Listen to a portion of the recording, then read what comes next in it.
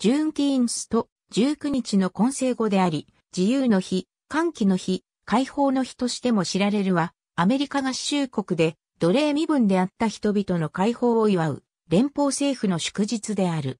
テキサス州に橋を発し、現在はアメリカ全土で6月19日に祝われる。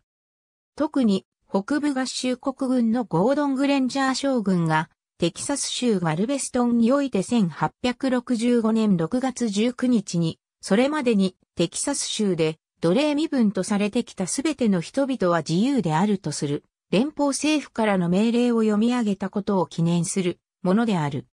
エイブラハム・リンカーン大統領の奴隷解放宣言は、公式には、ほぼ2年半前に、テキサスやその他の合衆国に反乱を起こした州における奴隷制を非合法化していた。テキサスは奴隷制維持州の中で最も遠隔に位置し、アメリカ南北戦争が終結した後も、北部合衆国軍の存在感は希薄であり、従ってグレンジャーの告知以前には、統治での思考は緩慢で、また一貫していなかった。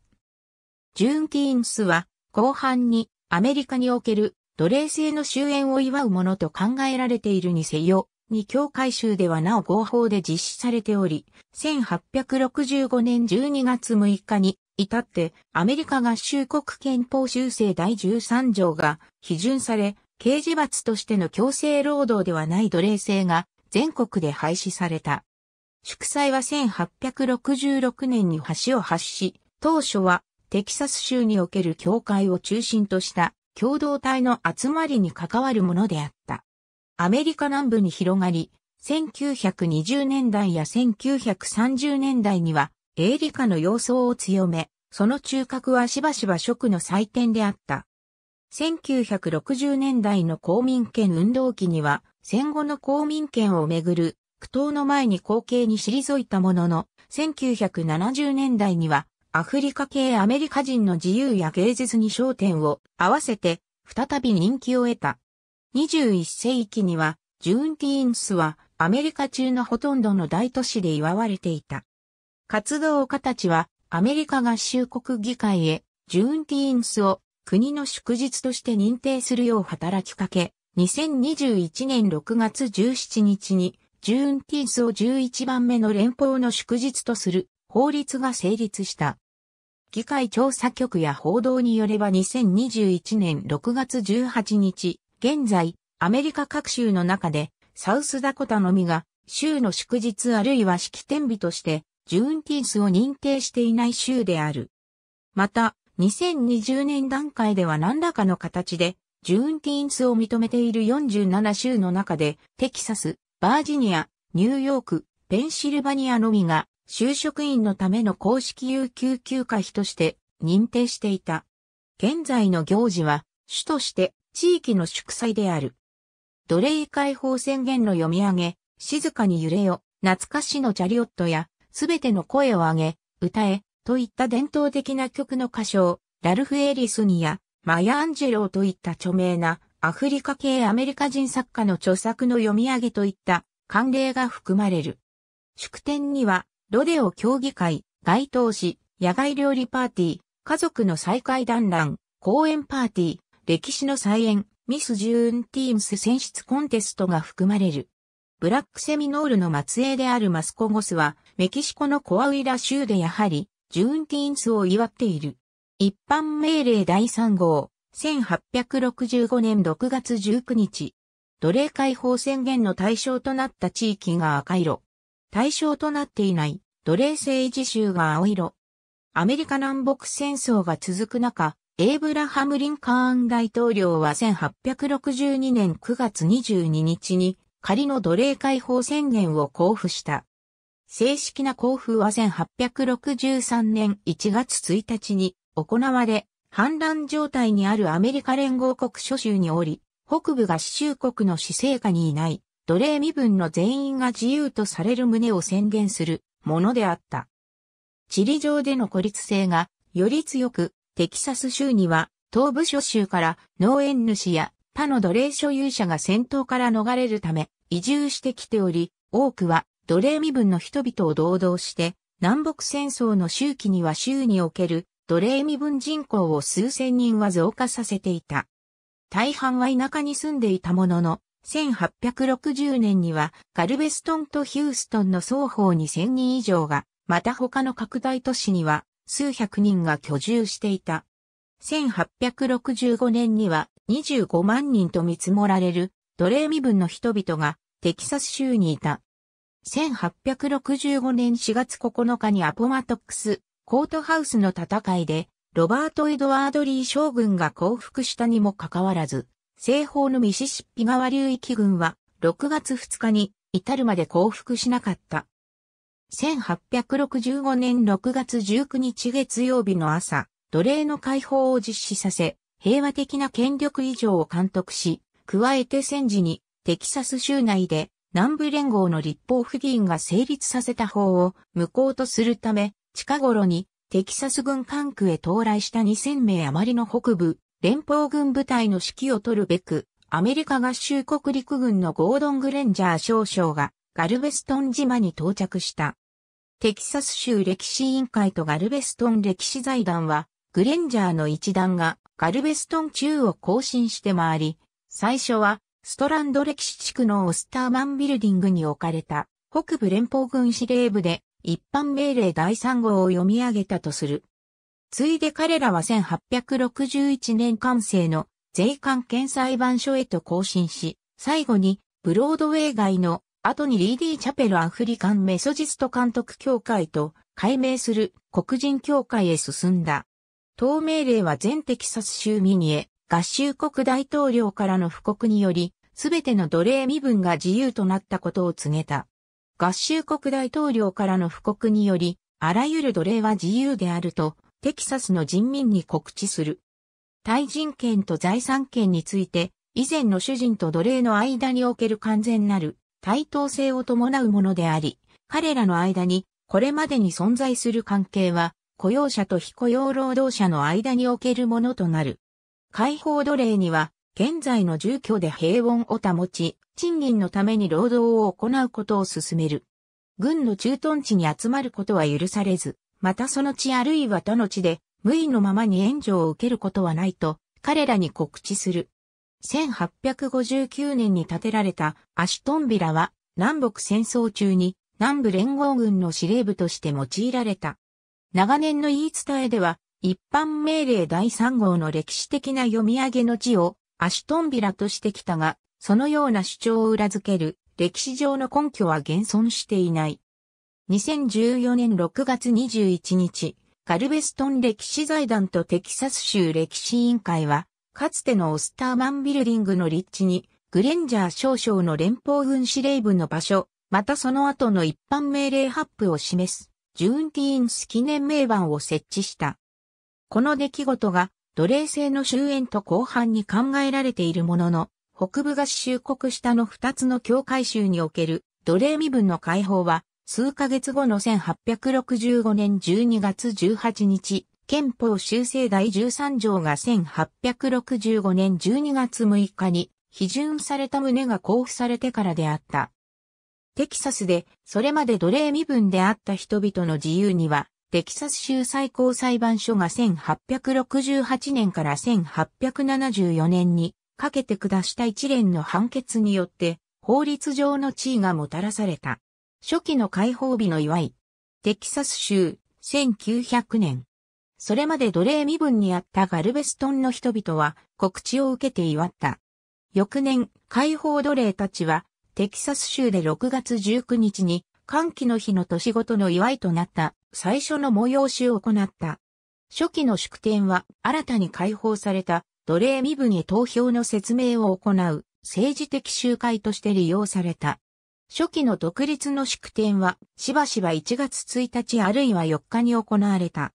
いくつかの都市では州が発起した各施設での隔離施策によってアフリカ系アメリカ人は公園の利用を阻まれた。テキサス州の各地で解放された人々が祝典を催す土地を購入するために資金を出し合った。当期日は1867年にオースティンで初めて解放黒人局の三女の下で祝われ、1872年には公共祭事歴の一覧に載った。この年、テキサス州の黒人指導者たちがジューンティンスを祝うための10エーカーの土地購入に充てる1000ドルを調達し、その地が今日、ヒューストンのエマンシペーションパークとして知られている。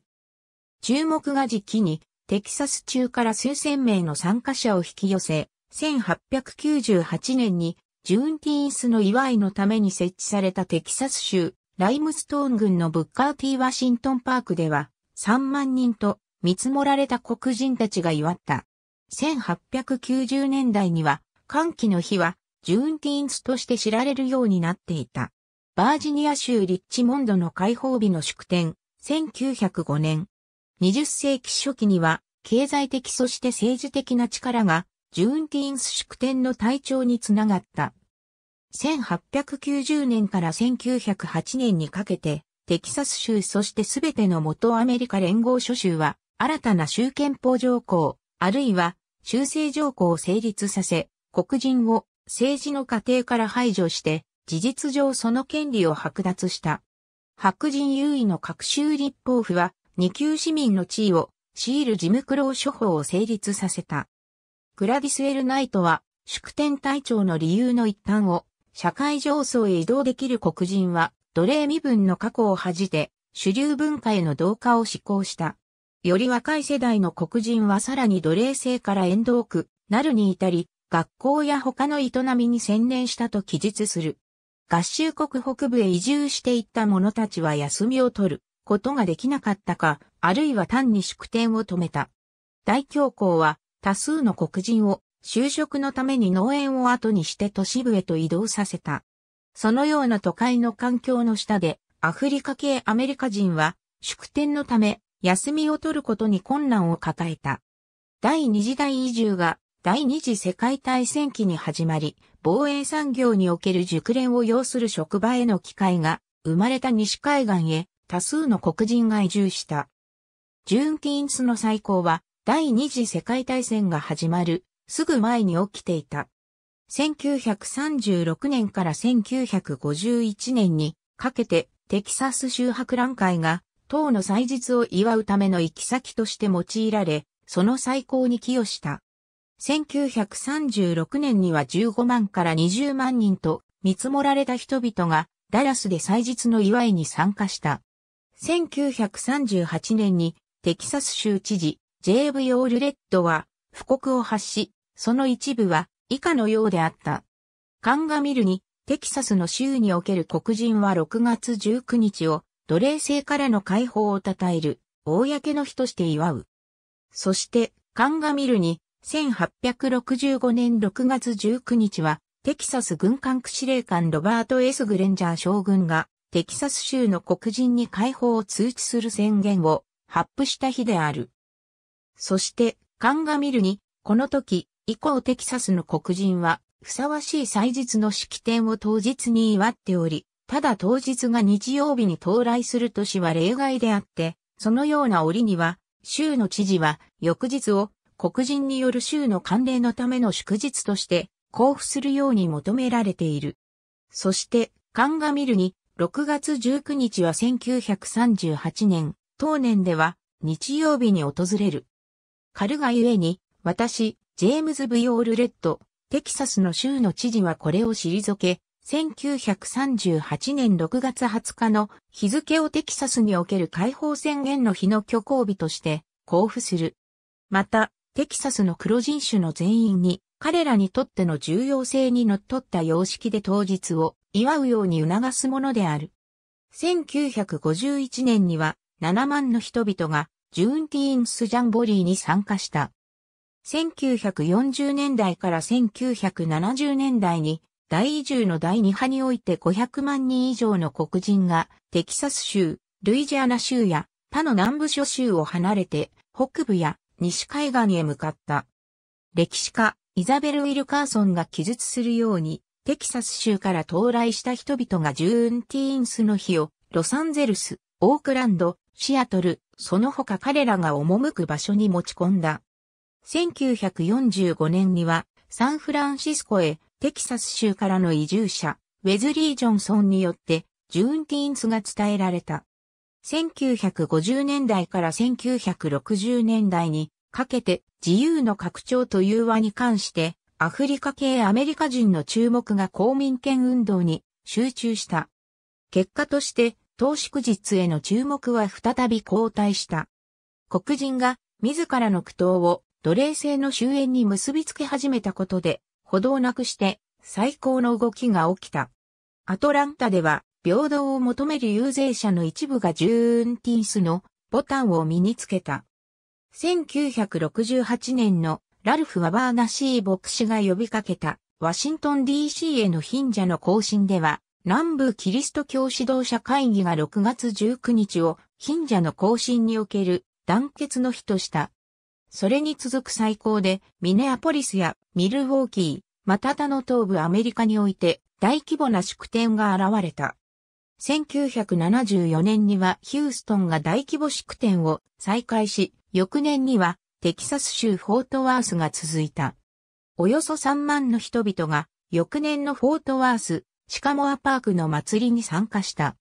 1978年のミルウォーキーの祝典は10万人以上の参加者を集めたと記録されている。2019年、ペンシルバニア州でジューンティーンスを公式に認定する法案に署名するトムールフ知事。1970年代後半にテキサス州議会はジューンティーンスを特にテキサスの黒人にとって重要な祭日と宣言した。民主党の新人州議会議員、アル・エドワーズによって導入された法案の下で州の祭日としてジューンティーンスを確立した最初の州であった。当法案は1979年にテキサス州議会で成立し、1980年1月1日に公式に州の祭日を設けた。ジューンティーンスはテキサス州において部分的勤務の祭日であり、州政府の職場は閉まらないものの、各機関は職員の数を減らして稼働し、非雇用者はこの祭日を祝うか、あるいはテキサス州で認定された4日の任意祭日の1日と変えることとなる。1980年代の後半には、ジューンティーンスの大規模な祝典がカリフォルニア、ウィスコンシン、イリノイ、ジョージアの各州、そしてワシントン DC で催された。1996年には、ジューンティーンス独立記念日を認定する最初の法案がアメリカ合衆国会議議会にバーバラ・ローズ・コリンズを発起人とする会員合同決議第195号として提出された。1997年、議会は上院合同決議第11号、そして下院合同決議第56号において当日を認定した。2013年、アメリカ合衆国上院議会は上院決議第175号を成立させ、ジューンティーンス独立記念日に全国的な認知をもたらすべく運動し、成功を収めたとして、ルーラブリックス・ギャロウェイとまた全国ジューンティームス式典協会の継続的な指導に謝意を表明した。活動家は連邦議会へジューンティーンスを国の祝日として認定するように働きかけてきた。全国ジューンティンス式典協会といった団体は連邦議会がジューンティンスを国の式典日として指定するよう求めてきた。2021年6月に公式に国の祝日とされると日付が特定されたものとして、元日、アメリカ独立記念日、福音軍人の日、クリスマスと並ぶ5番目の存在となった。ジューンティーンスは2022年、2033年、2039年、2044年、2050年に父の日と重複する。2020年、バージニアとニューヨークの各州知事が、州雇用者の有給休暇費としてジューンティーンスを認定する行政命令に署名した。ジューンティーンスの旗。1980年代と1990年代以降、党の祭日はアフリカ系アメリカ人の共同体内でさらに広範に祝われており、アメリカにおいて主流性を増す様相が目の当たりにされている。1991年にはアナコスティアコミュニティ博物館でジューンティーンス91自由への再訪と題した展覧会が催された。1994年にはさらに大規模なジューンティーンスの全国的祝祭のために活動を行うべく、共同体の指導者たちの一団がニューオーリンズのキリスト教徒統一バプテスト教会に集まった。国外在住者はパリのような外国の諸都市で祝いを行っている。他国に展開する数カ所のアメリカ軍基地は祝典への後援を私的団体によるものに追加して行っている。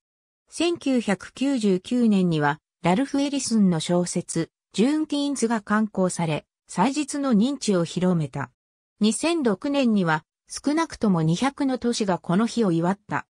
当の祭日はアフリカ系アメリカ人の共同体の外において TV シリーズアトランタやブラック一種のエピソードといった娯楽メディアにおける描写で主流の注目を集めつつあり、後者では祭日に関するアローブラック、ザルーツ、ホンズワース・ベントレーの楽曲が使われている。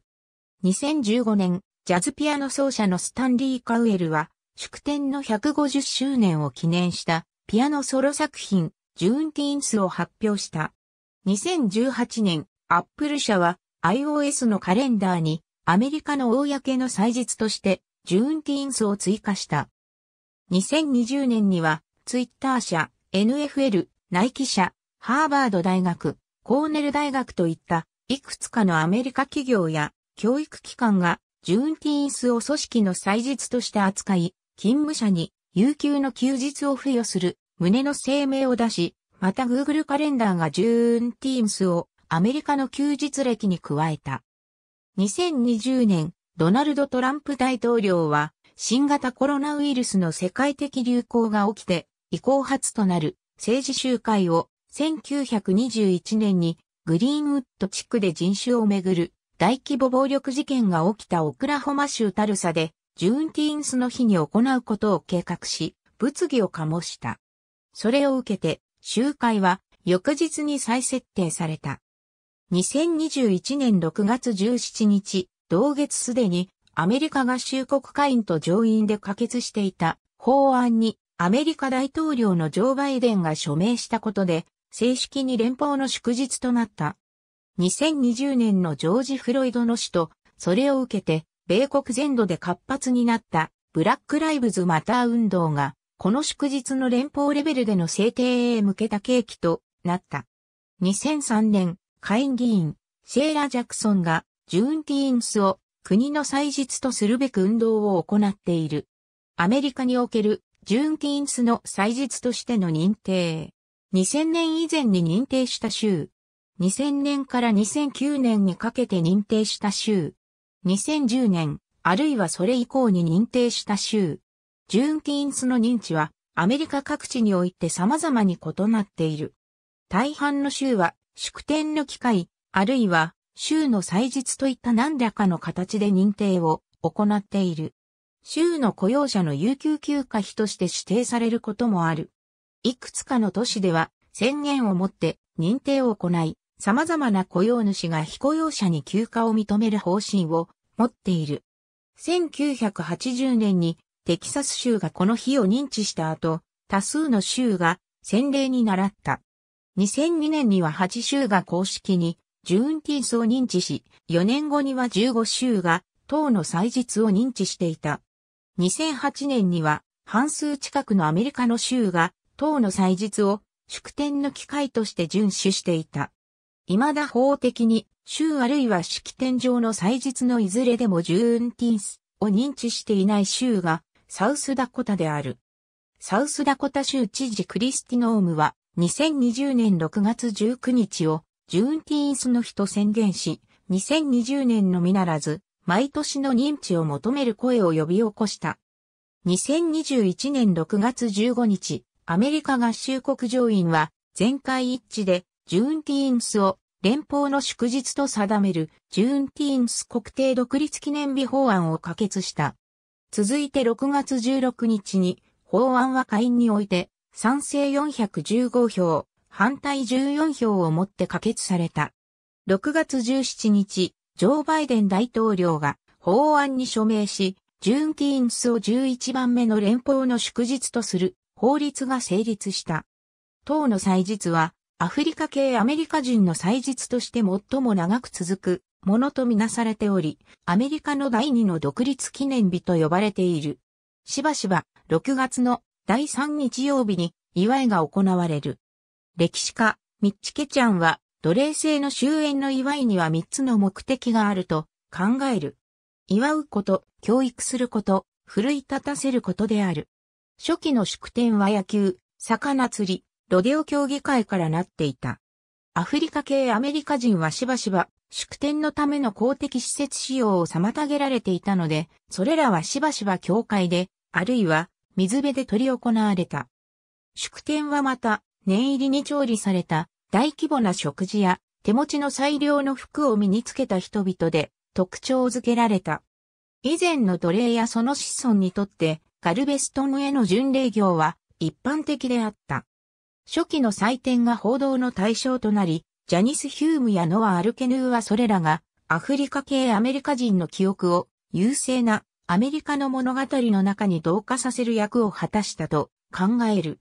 今日の式典は主として地域の祝いである。多くの場でジューンティーンスは多文化的な祭日となっている。監修には奴隷解放宣言の朗読、静かに揺れよ、懐かしのチャリオットや、すべての声を上げ、歌え、といった伝統的な曲の歌唱、ラルフ・エリスニや、マヤ・アンジェローといった著名なアフリカ系アメリカ人作家の著作の朗読が含まれる。祝典は、ピクニック、ロデオ競技会、街頭誌、野外料理パーティー、家族の再会団らん、公演パーティー、歴史の再演、ブルース音楽の祭典、ミス・ジューンティーンスコンテストを含むものである。ストロベリーソーダ水は、祝典と結びついた伝統的な飲料である。ブラックセミノールの末裔であるマスコゴスは、1852年から住んでいるメキシコのコアウイラ州で、やはり、ジューンティースを祝っている。ジューンティースの祝いはしばしばアフリカ系アメリカ人の文化に関する講話や展示を含むものである。現代の祭日はアフリカ系アメリカ人の伝承の教授に大いに重きを置いている。カレン・エーム・トーマスはイマージ市で共同体の指導者たちは黒人の若年層に伝承や教授の意識を浸透させる助けとして理解していると書いた。祝典は一般に投票登録運動、劇期の上演、物語の再現を伴ったものである。祭日はまた、ソウルフードや、その他アフリカ系アメリカの影響を備えた食材の祝典でもある。ツーリズムレビューインターナショナル誌で、アンドノバンとカレンデブレスは、バーベキューは、ほとんどのジューンティーンスの祝いで中心に据えられると記している。ありがとうございます。